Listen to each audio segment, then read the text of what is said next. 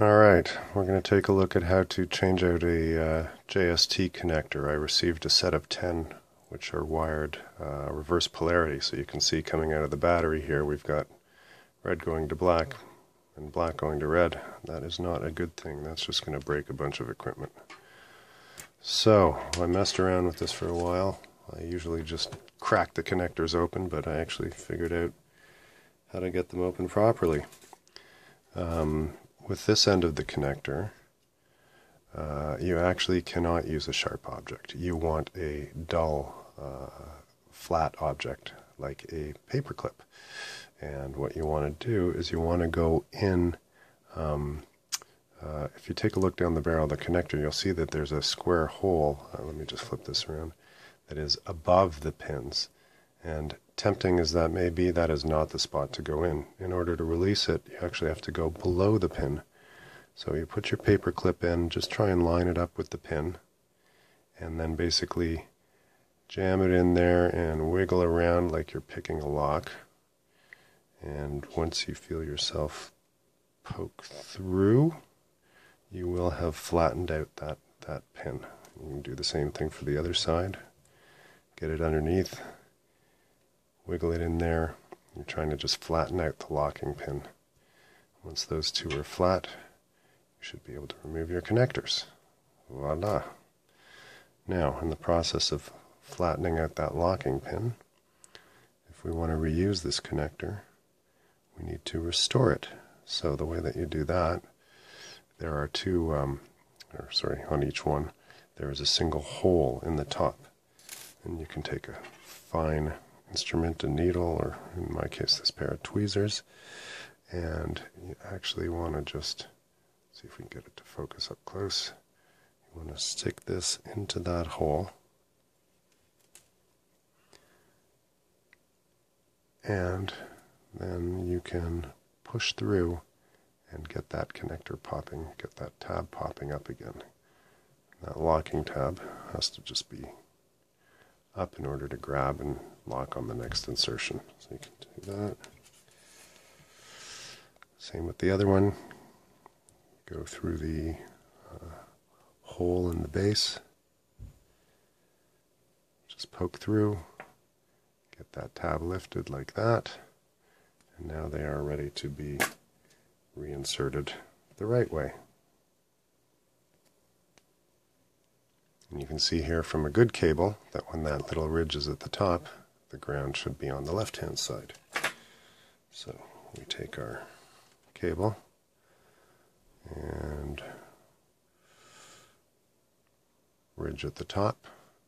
We want to go into the left side. Now, the way that these go in, that little tab that's sticking out has to be at the bottom, and it actually rides inside the base of this channel here, like that. Once it's in, you'll hear it click, and it's locked. Same thing for the other one, and your connector has had its polarity reversed.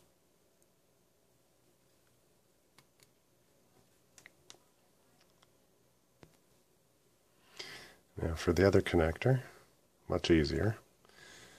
This one, all you have to do is poke down the tab that's sticking out because the locking connector is exposed here. So just take something sharp, press it down, and then you can remove your two tabs.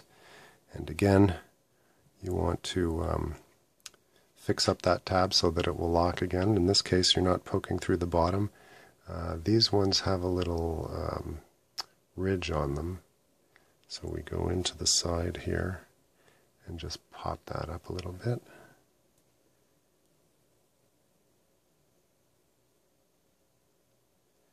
And same with the other one. Get in there.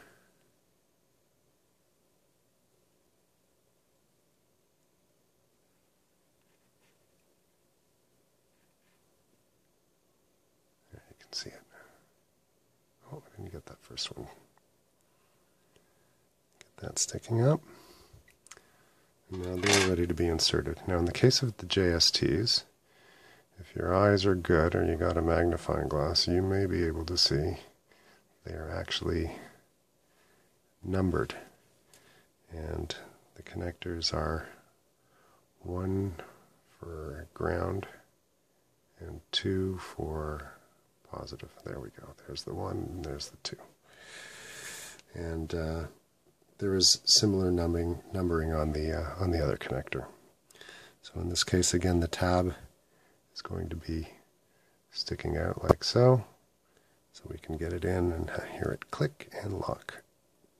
There you go. And the second one, get the tab pointing up.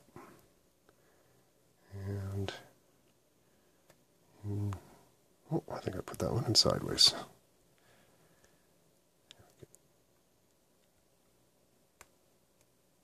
There we go. Locked and ready. Here's the other connector. Let's see if I can find the numbers for you.